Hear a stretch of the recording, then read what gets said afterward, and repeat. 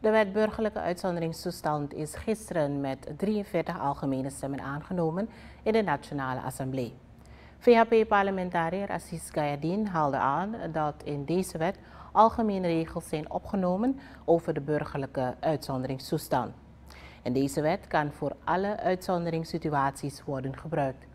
In deze wet is duidelijk aangegeven dat ook in een uitzonderingssituatie de rechtszekerheid gewaarborgd moet worden.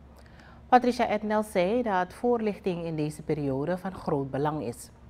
Deo Charman, initiatiefnemer van deze wet, is blij met de samenwerking tussen de coalitie en de oppositie.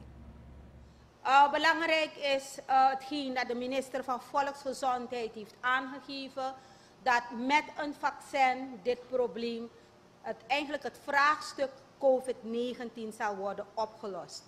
Daarom op weg naar dat moment benadruk ik de voorlichting. Benadruk ik dat wij samen het probleem COVID-19 moeten oplossen. Een crisis van deze omvang en orde is inderdaad een rechtvaardiging om te zeggen dat een uitzonderingstoestand er moet zijn. En natuurlijk moet zo'n toestand gebaseerd zijn op wet.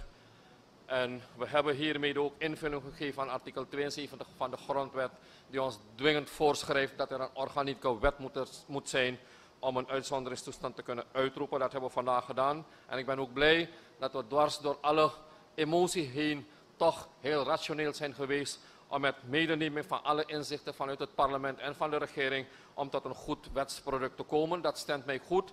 En dit is de wijze waarop wij met elkaar moeten omgaan om goede producten te leveren, voorzitter. Vicepresident Ronnie Brunswijk haalde aan dat de regering deze wet met veel voorvarendheid zal bekrachtigen.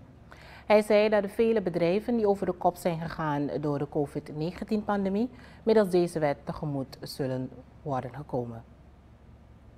De taxichauffeurs, de bootslieden, om deze mensen tegemoet te komen. Maar ook de mensen in het verre binnenland die geïsoleerd zijn.